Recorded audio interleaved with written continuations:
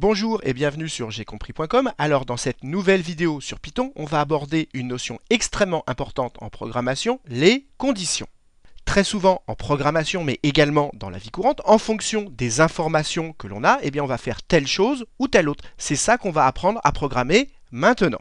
Alors, pour bien comprendre comment ça fonctionne, prenons un exemple concret. Imaginez, vous allez à un spectacle et le prix va dépendre de l'âge de la personne. Si l'âge est inférieur à 8 ans, eh bien vous payez 5 euros. Entre 8 et 16 ans, vous payez 10 euros. Et sinon, vous payez 20 euros. Alors, comment on va programmer ceci avec Python? Eh bien, on utilise l'instruction if qui veut dire si. Si la condition qui est là est remplie, ici vous avez deux points, eh bien alors si cette condition est vérifiée, alors le code qui est ici sera exécuté.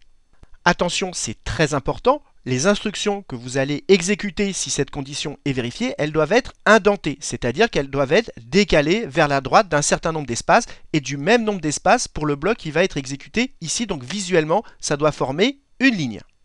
Donc si la condition qui est ici vérifiée, alors les instructions qui sont décalées ici vers la droite seront exécutées et ce sera tout. Mais si maintenant cette condition ici n'est pas vérifiée, alors en dessous on peut rajouter une instruction elif. Elif, c'est la contraction de else if.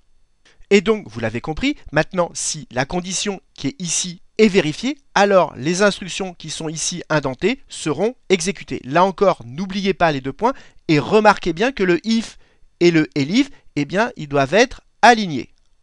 Et des instructions elif, eh bien, vous pouvez en mettre autant que vous le voulez, ou bien vous pouvez en mettre aucune. Donc elif est facultatif. Et enfin, vous pouvez rajouter une condition else qui veut dire sinon. Par contre, une condition else, vous n'êtes pas obligé de la mettre, mais si vous en mettez, il n'y en aura qu'une seule. Et là encore, n'oubliez pas les deux points.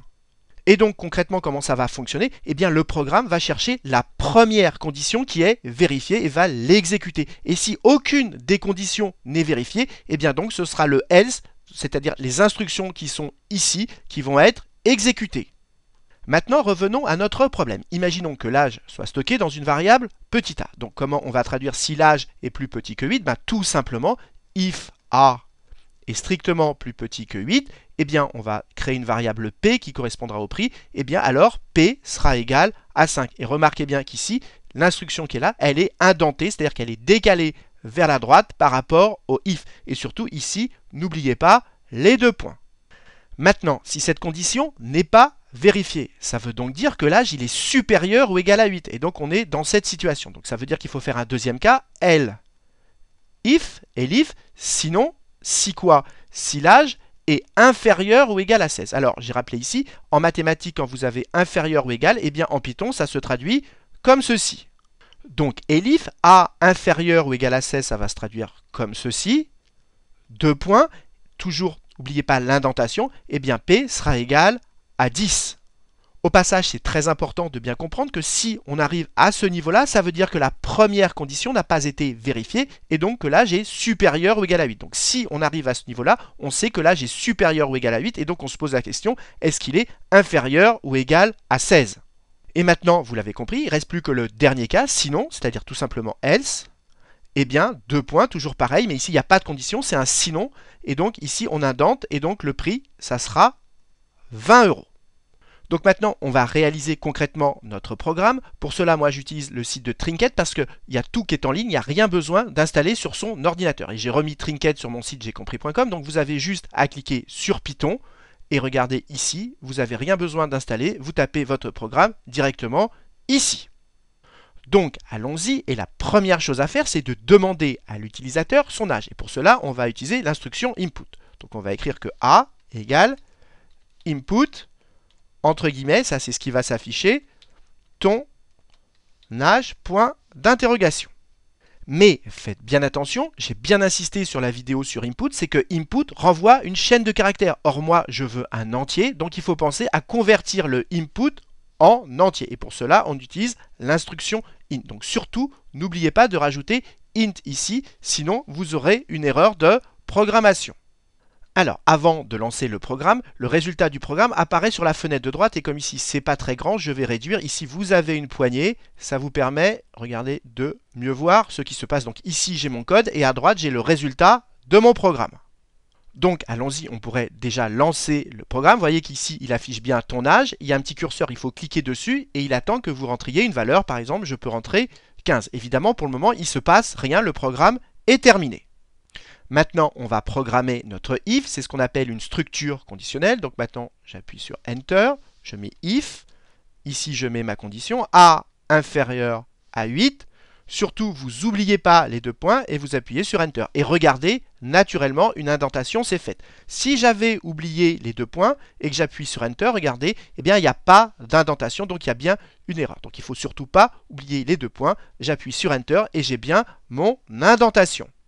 Ensuite, on continue. Maintenant, on va mettre P égale 5. P égale 5 j'appuie sur Enter et voyez que je suis encore indenté, c'est-à-dire que je suis dans les instructions qui vont être exécutées si A est plus petit que 8. Mais maintenant, je veux en sortir, je veux mon elif qui doit être aligné avec mon if. Donc ici, j'appuie sur Backspace pour être aligné avec le if. Et donc maintenant, je tape elif et ma deuxième condition, A inférieur ou égal à 16. J'oublie pas mes deux points. Regardez, je suis bien indenté, donc P égale 10 j'appuie sur Enter, je sors de mon indentation, je mets Else, toujours, j'oublie pas les deux points, et sinon, donc je suis toujours indenté, P égale 20.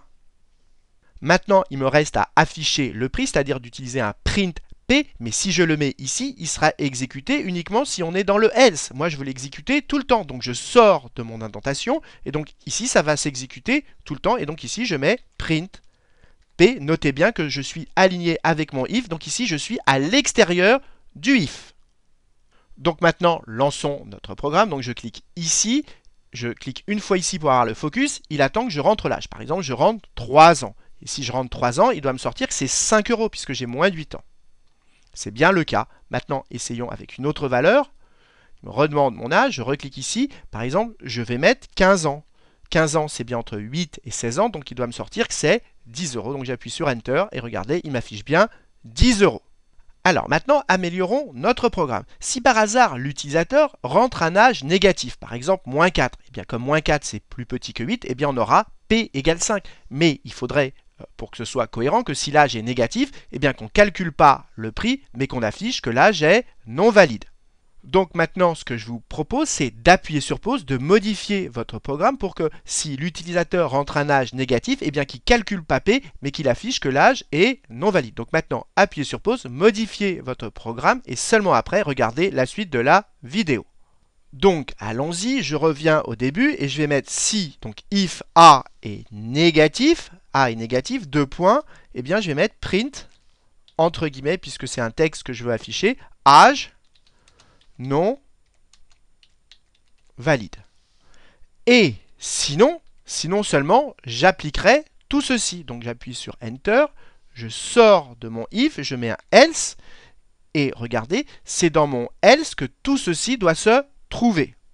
Et donc, il faut bien comprendre que tout ceci, ça ne va s'exécuter que si l'âge est positif. C'est-à-dire que si on est dans le else, donc tout ceci, il faut le mettre à l'intérieur du else, donc il faut l'indenter vers la droite. Donc je sélectionne tout et j'appuie sur la touche Tab pour l'indenter vers la droite. Et remarquez au passage qu'on a imbriqué un if dans un else. On aurait pu imbriquer un if dans un if, c'est quelque chose de très fréquent. Donc vous pouvez avoir des conditions qui s'imbriquent les unes comme les autres. Ici, j'insiste bien, le if est imbriqué dans le else. Alors maintenant, faisons tourner notre programme. Donc je clique ici pour le lancer. Et par exemple, je vais mettre, pour mon âge, je vais mettre moins 4. Voilà. Et qu'est-ce que j'obtiens? Eh bien, j'obtiens bien âge non valide. Exactement ce que je voulais. Si je relance, cette fois-ci, par exemple, je mets 15. Si j'ai 15, comme c'est entre 8 et 16 ans, il doit me répondre 10 euros. On obtient bien le bon résultat. Alors maintenant, je voudrais rajouter quelque chose d'extrêmement important. Alors, imaginons que le prix ici soit calculé différemment. Imaginons que quand on a 8 ans exactement, eh bien, on paye 10 euros. Donc, si on a moins de 8 ans, on paye 5 euros. Si on a exactement 8 ans, on paye 10 euros. Et sinon, on paye 20 euros.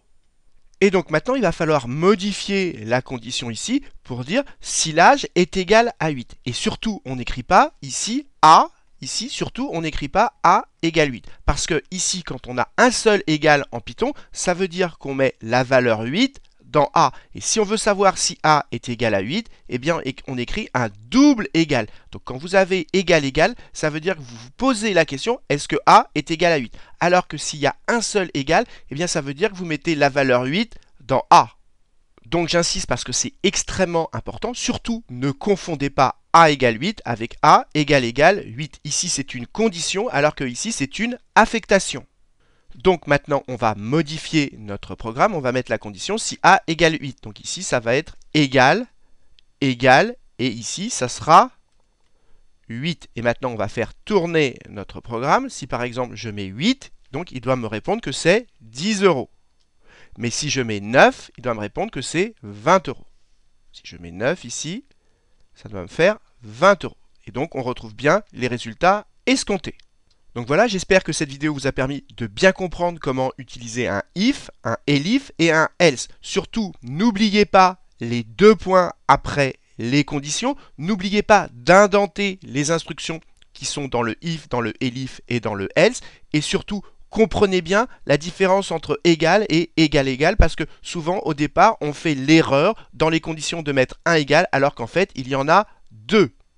Et n'oubliez pas non plus que inférieur ou égal en Python ça s'écrit comme ceci et différent ça s'écrit comme cela. Donc voilà j'espère que cette vidéo vous a plu et si c'est le cas comme d'habitude n'hésitez pas à la partager et à la liker.